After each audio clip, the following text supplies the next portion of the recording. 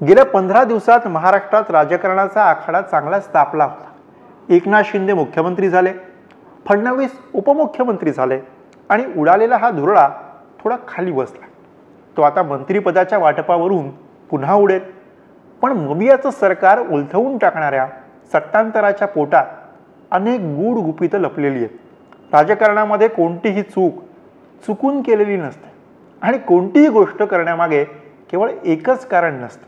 तर एका दगड्यात अनेक पक्षी मारण्याची स्टाईलच जणू हल्लीच्या राजकारणामध्ये रूढ झाली. अगदी त्यानुसारच शिंदेंना मुख्यमंत्री आणि फडणवीसांना उपमुख्यमंत्री करण्यामागे भाजपच्या डोक्यात काही प्लॅन आहेत. भूतकाळातील चुका वजा करत वर्तमानात बेरीज करत भविष्याच्या राजकीय फायद्यासाठी गुणाकाराचे हे मास्टर प्लॅन असावेत अशी चर्चा आहे. त्यातला पहिला प्लॅन असा आहे.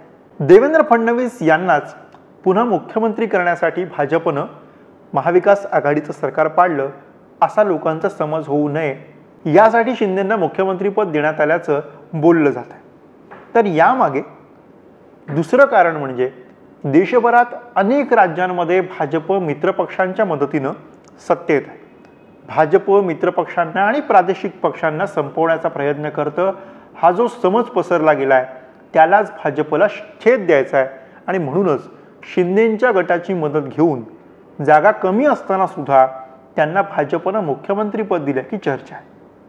तिसरं आणि यातलं सगळ्यात महत्त्वाचं कारण म्हणजे मागच्या वेळेला सेना भाजप युतीतून एन डी एला बेचाळीस खासदार मिळालेले होते.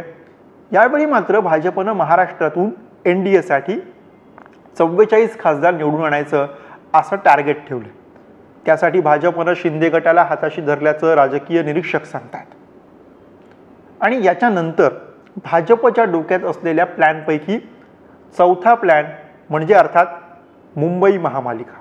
एखाद्या राज्याला मागे टाकेल इतकं बजेट असलेल्या मुंबई महापालिकेवरती भाजपला आपला झेंडा फडकवायचा त्यासाठी अर्थातच मुंबई महापालिकेवरील शिवसेनेची अनेक वर्षांची सत्ता उलटवून लावावी लागेल. त्यासाठी अगदी सामान्य शिवसैनिक ते थेट मुख्यमंत्रीपदी झेप घेणाऱ्या एकनाथ शिंदेची मदत ही अर्थात होऊ शकते कारण एकनाथ शिंदेंना नगरसेवक पदाचा आणि एकूणच महापालिकेच्या कामाचा मोठा अनुभव आहे. खरं तर ठाणे महापालिकेतील सेनेचे साठच्या वर नगरसेवक फोडण्यानं भाजपचा हा प्लॅन यशस्वी होण्याची सुरुवातसुद्धा झालेली आहे. त्यातील लक्षात घेण्यासारखी गोष्ट ही आहे की एकनाथ शिंदे यांचं राजकीय साम्राज्य ठाण्यामध्ये असलं तरीसुद्धा मुंबई महापालिकेमधील सेनेच्या अनेक नगरसेवकांसोबत त्यांचे संबंध आहेत. याचीही नोंद भाजपनं घेतली असण्याची शक्यता ही इथं नाकारता येत नाही आहे यानंतर यामागचं पाचवं कारण ते म्हणजे देवेंद्र फडणवीस यांचे पंतप्रधान नरेंद्र मोदी यांच्याशी चांगले संबंध आहेत. पण दिल्ली भाजपमध्ये फडणवीसांचे फारसे मित्र नाहीत. त्यांनीच फडणवीसांना मुख्यमंत्री पद मिळू न देण्याची व्यवस्था केल्याची दबक्या आवाजामध्ये सध्या चर्चा आहे.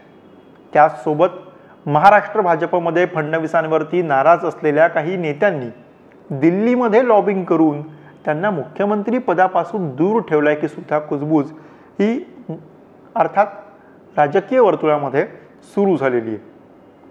आता हे अंदाज शंभर टक्के खरे नसतील तरीसुद्धा हे शंभर टक्के खोटेही नाही आहेत किंबहुना याच अंदाजांचा विचार भाजप श्रेष्ठींनी केला असण्याची शक्यता आहे. कारण महाराष्ट्राची आणि मुंबई महापालिकेची सत्ता ही कुठल्याही राष्ट्रीय पक्षासाठी अत्यंत महत्त्वाची भाजपला सुद्धा ती महत्त्वाची वाटली असेल तर त्यात आश्चर्य वाटण्यासारखी कुठलीच गोष्ट नाही आहे कारण मागच्या महापालिका निवडणुकीमध्ये आपण शिवसेना आणि भाजप संघर्ष पाहिलेला आहे.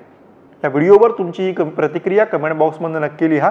राजकीय बातम्या आणि त्यांच्या विश्लेषणासाठी लोकमतचं हे यूट्यूब चॅनल सबस्क्राईब करा. जर हा व्हिडिओ फेसबुकवर बघत असाल तर आमचं फेसबुक पेज लाईक आणि फॉलो करा. तुमचं मत लिहून हा व्हिडिओ शेअर करायला विसरू नका. व्हिडिओ पाहिल्याबद्दल धन्यवाद.